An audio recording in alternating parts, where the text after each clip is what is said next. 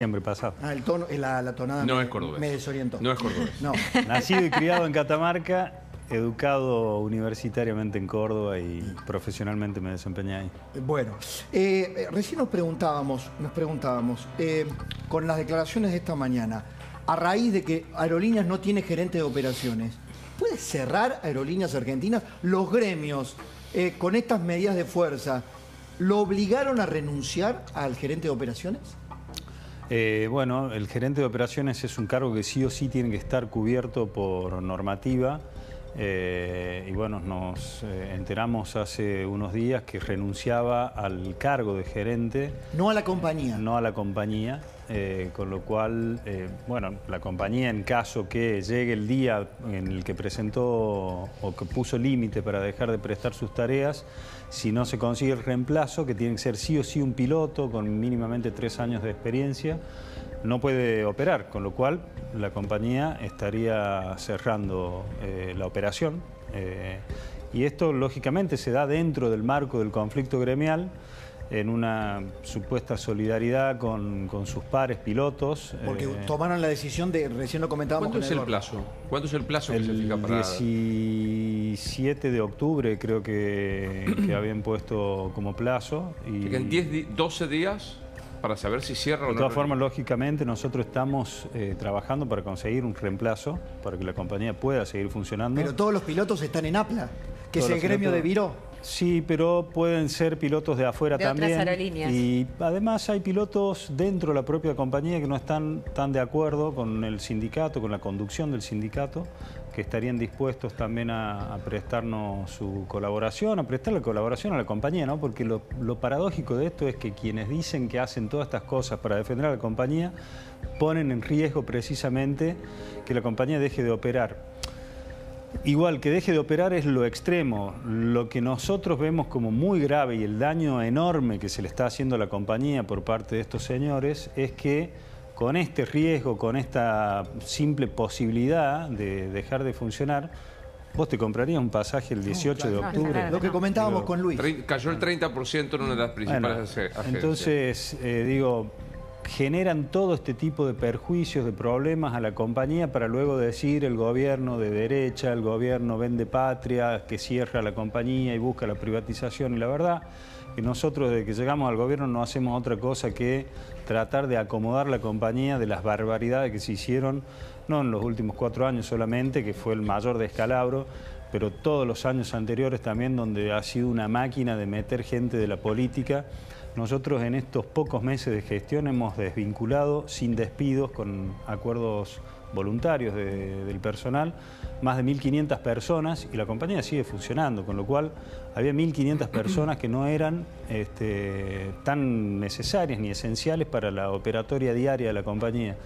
Entonces toda esa tarea que nosotros venimos llevando adelante, en la compañía, pero a nivel gobierno también de desregulación y de modernización de todo el marco normativo que tenía más de 60 años, están este, intentando lógicamente obstaculizar Ah. con una postura ideológica política, ¿no? Eso es lo más Sí. eh, Sí, sí, claro. irritante de todo esto. Aerocámpora, recién nosotros decíamos, este, eh, eh, la, la administración kirchnerista convirtió aerolíneas en un reducto político partidario. Eduardo decía, la llamaban aerocámpora, ¿no?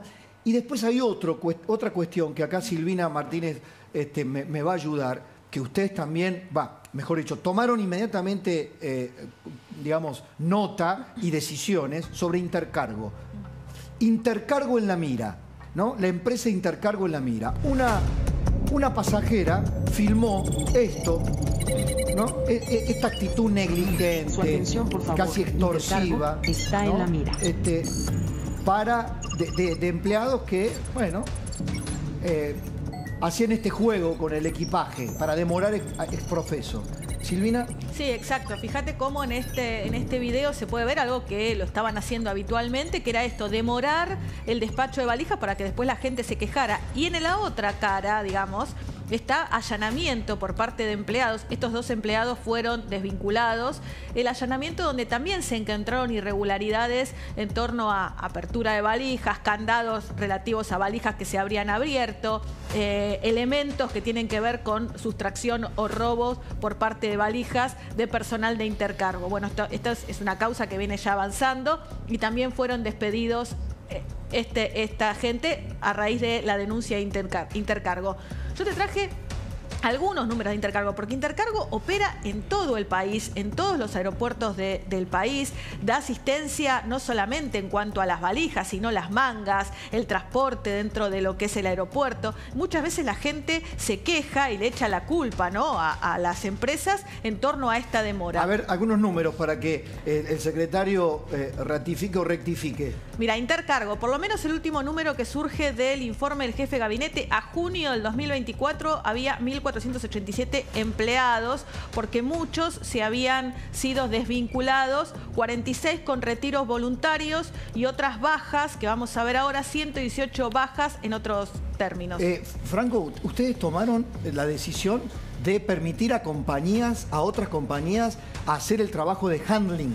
Exactamente, hemos desregulado el servicio de rampa, que también sabemos, sabemos, era un monopolio que distorsionaba muchísimo la industria en nuestro país y que era otro tapón que tenían también quienes manejaban esos monopolios para decirte no, mirá, si, no es intercargo no tenés quien te opere y, es un inconveniente para ir a, lugares pequeños de, de, la República, con lo cual nosotros en esta primera etapa hemos autorizado primero a las operadoras aerocomerciales para que puedan operar eh, autoprestarse el servicio y prestar a terceros. La que más avanzada está creo, que es Flybondi, ¿no? Claro, porque ya venía autoprestándose, pero Aerolíneas Argentina también tiene su propio servicio de handling y hoy a partir de esta desregulación puede prestar a otras compañías. Y en una próxima etapa, en los próximos días, vamos a autorizar ya la incorporación de nuevas operadoras y la constitución de nuevas empresas en este rubro que era imposible... Competencia. Competencia, competencia, para que puedan prestarse...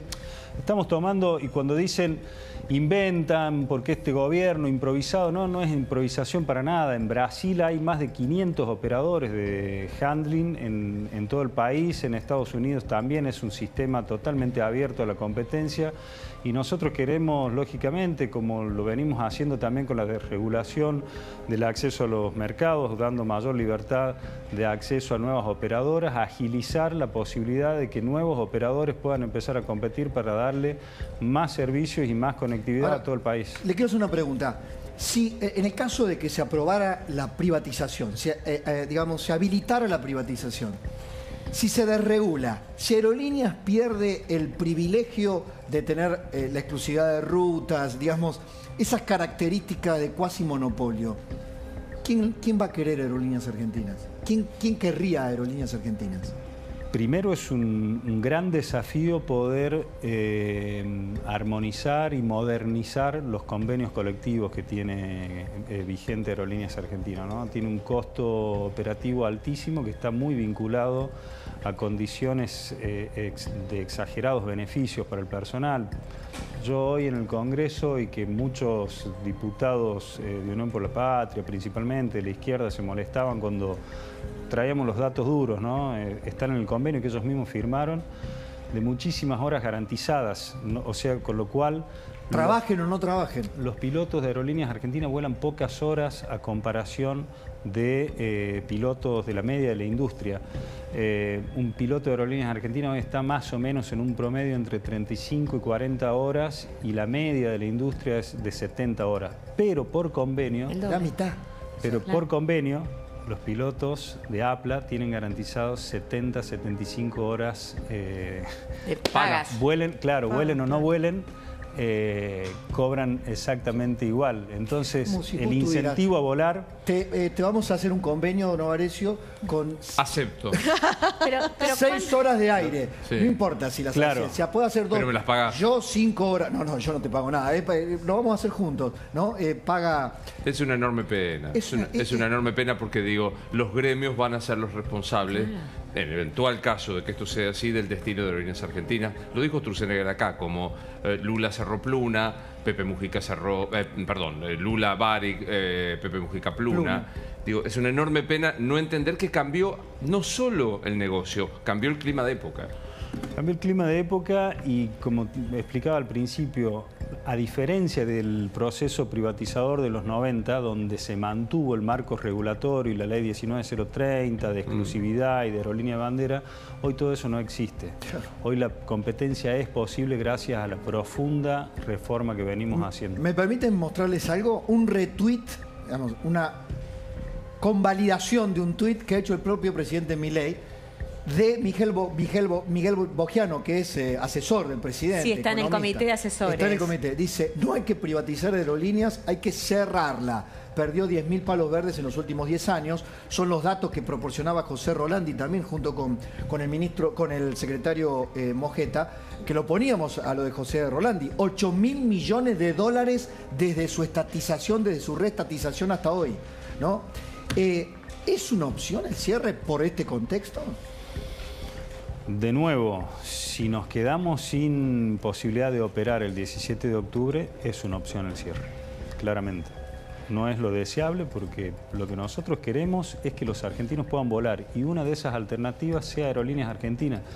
Porque recién, eh, como decía Luis, es una pena que no hayan leído el contexto porque dentro de la compañía, y lo digo y lo voy a decir una y mil veces, hay muchísima gente valiosa. Totalmente. La compañía es muy valiosa, la compañía tiene mucho prestigio, Pablo.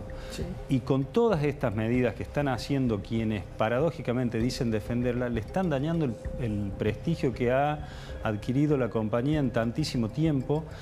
Y, no es contradictorio con decir que han hecho también una caja política. Pese a la caja política que han hecho y toda la grasa que le cargaron a la compañía de gente de más, aún así la compañía ha seguido funcionando bien. Pese a todo lo que le cargaron encima, la compañía ha Pero porque el Estado le ponía 300 millones de dólares al año porque el Estado le ha puesto muchísimo dinero, pero también por la capacidad del personal y el compromiso de la gran parte del personal que tiene la compañía. Claro, esto es para decir, no es un descarte a un gobierno se le ocurre cerrarlo y punto. Eh, está el caso de Italia, que es para analizarlo, ¿no? Que se, a Italia, conflicto larguísimo, se cerró. y se creó Ita Airways. Es que así como están, no, cierran los números. Eh, último, ya, ya, ya, vamos con Luis Majul, seguimos con Más Nación. Eh, ¿El gobierno va a ceder? No, el gobierno no va a ceder en el afán que tiene de darle a los argentinos eh, conectividad en todos los puntos del país, mejor servicio a menor costo, romper el monopolio, romper la exclusividad, sea quien sea que la detente, aunque sea incluso aerolíneas argentinas, porque en rutas monopólicas, y citamos justamente que soy oriundo de Catamarca, en junio fui a visitar a mi familia y para ir y volver de Buenos Aires a Catamarca tuve que pagar 700 mil pesos eh, la ida y vuelta. Y a Tucumán, que es el mismo tiempo de vuelo, con la misma aeronave, el mismo combustible, la misma cantidad de tripulación, muchas veces ese pasaje está casi a la mitad de precio. Entonces, donde hay competencia el precio baja, donde no hay competencia te cobran lo que quieren y en eso no vamos a ceder, Pablo. Gracias, ministro. Gracias, secretario, por estar acá. ¿eh? Se lo agradezco porque sé que ha sido un día complicado. Valoro doblemente bueno, muchas que, gracias haya llegado aquí, Franco. Gracias. Eh, ya, llega. Gracias, Luis. Por favor. Gracias, Silvina. Eh, me quedo con la de la baja de las tarifas para después. durante. ah, le mando un beso enorme a Juana. ¿Quién es Juana? La esposa de Carlito La Mona Jiménez, que nos está ah. viendo. Ídolo popular. Carlito. Juana, nos ve siempre, nos ve siempre, tengo que mandar. Cordobés a corazón a corazón. Ya vamos con Luis Majul, que habrá bailado cuarteto, igual que yo. Durante septiembre